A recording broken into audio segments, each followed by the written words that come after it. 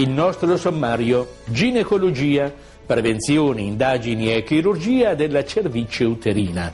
118.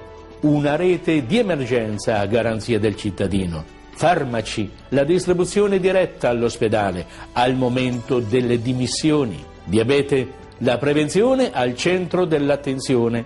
Alcol e sicurezza stradale, abbiamo seguito prove alcolimetriche presso la Fiera del Monte di Castelnuovo. CIC. Nella US 22 sono ripartiti i centri di informazione e consulenza nell'ambito scolastico. Per istruzioni per l'uso, come accedere al pronto soccorso e infine a tavola come sempre.